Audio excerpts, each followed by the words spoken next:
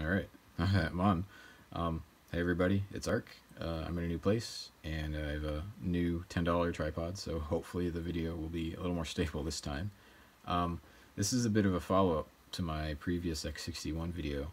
Within an hour of me uploading that, somebody asked a question about LED mods, and I answered him, even though he seems to be more qualified than me because he actually did an LED mod on another ThinkPad. But uh, yeah, I gave him the best answer I could, and I thought I should make this follow-up video uh, addressing some problems I had personally uh, doing the, the swap to the high-resolution SXGA Plus panel in an X61.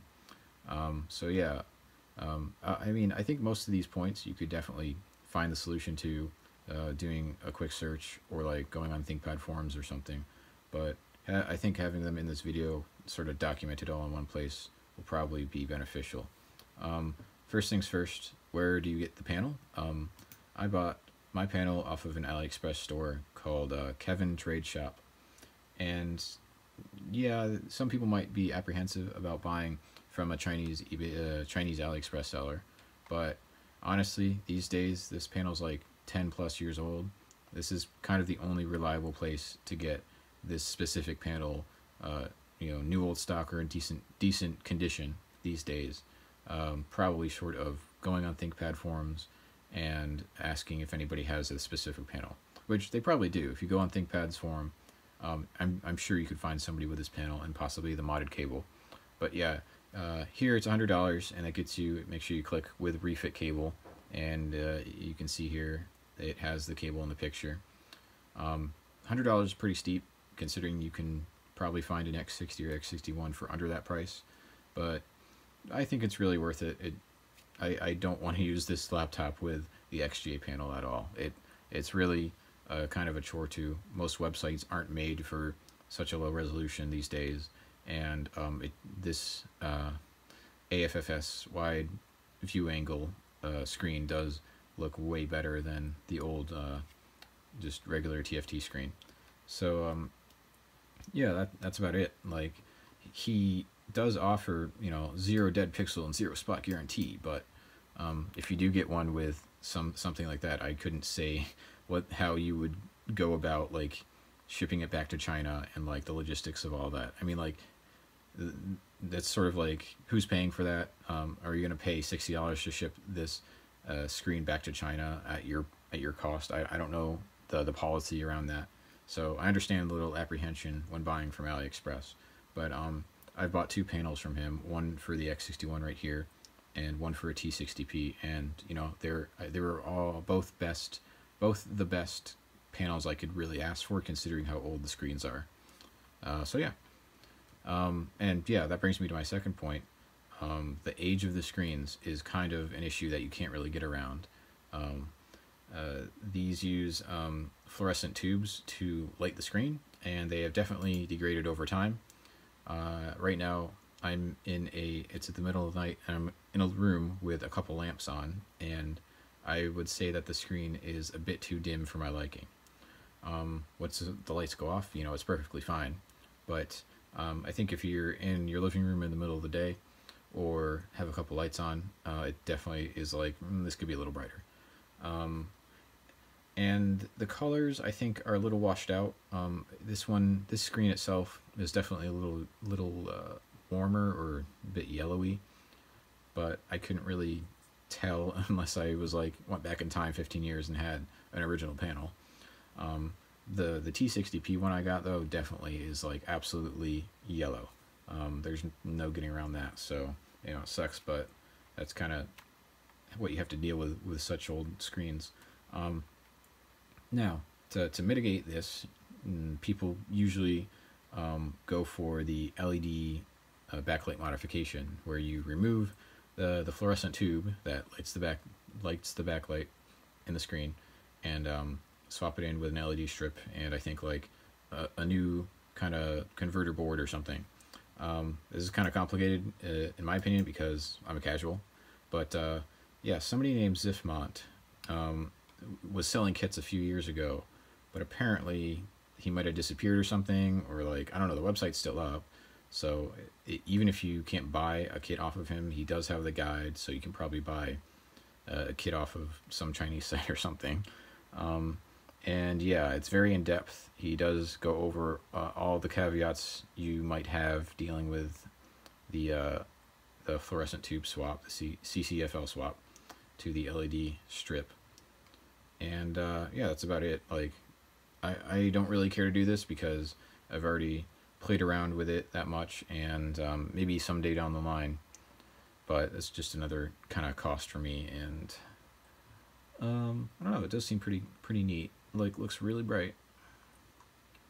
And yeah, these other links converting ThinkPads to LED backlighting, Chinese vendors, generic LED backlight parts, kits, and mods. So yeah, there's a lot of resources. Um, driver boards, yeah, I guess you're gonna need to get some special board, maybe solder something. Who knows? Um, I'm not interested in this really, to be honest.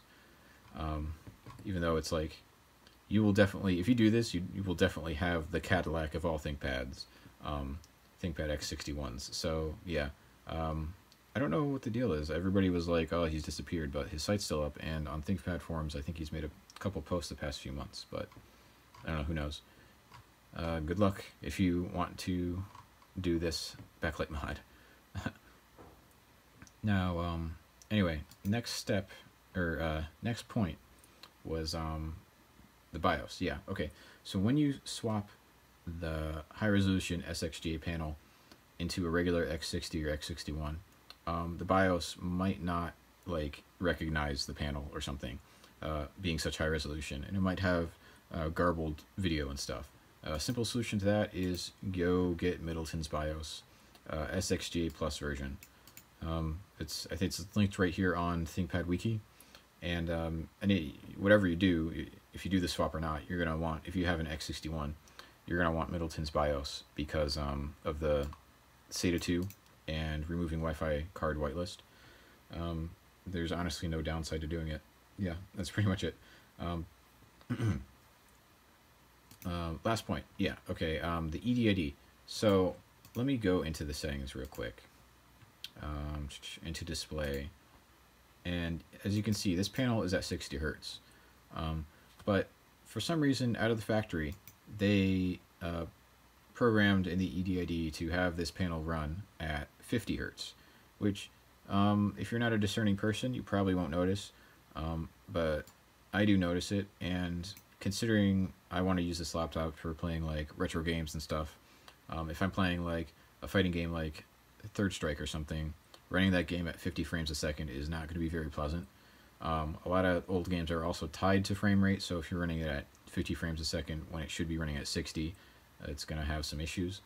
So um, I really was like bummed out that this was these panels were running at 50 hertz. But uh, doing a little searching, apparently, um, so on, I found on this guy's blog, Michael Moffitt, some old posts, but they're very useful nonetheless.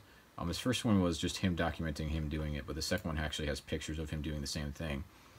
And so EDIDs, it's basically the, uh, it's basically like a little file that tells the monitor that's on the monitor that tells the computer like what the monitor supports, what resolution and what frame rates, uh, what hertz it supports.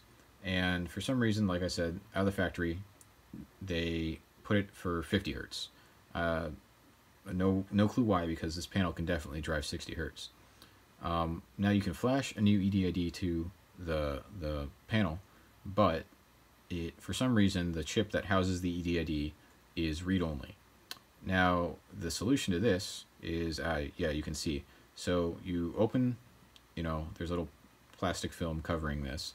And what he's done, he, he has lifted this pin right here and uh, enabled writing to the EEPROM chip that houses the EDID. So now you can flash a modded EDID to this chip. And it's as simple as that. Uh, you might, you know, it's kind of uh, a pre pressure when you're trying to lift that pin off of such a small chip, but I was able to do it to two panels, and now both my uh, X60 panels are running at 60 hertz. So yeah, here it is. He's modded EDID, and um, yeah, right here he provides it, provides the EDID binary, but it leads to a 404, which kind of sucks. But if you go to Wayback Machine and just enter that that link, um, it is Like it's available right there, and it just downloads straight from Wayback Machine. So yeah, I've already downloaded a couple times, but yeah, um, and that's about it. Like if you have any issues with this, um, I guess post a comment, but uh, everything you know is pretty documented with these. People have been doing this for a while, so hopefully um, your plans to swap out the panel in X60 succeed. It's not too hard. I think this extremely long video has made it seem a lot more difficult than it it should be, but sometimes you want to get it right the first time, and I didn't get it right the first time. I got it wrong the first time, and then I got it right the second time. So anyway, yeah, thanks for watching. Uh, if you have any other questions, I'll try my best to answer them, even though I'm a casual. But uh, yeah, good luck. Have fun. Bye bye.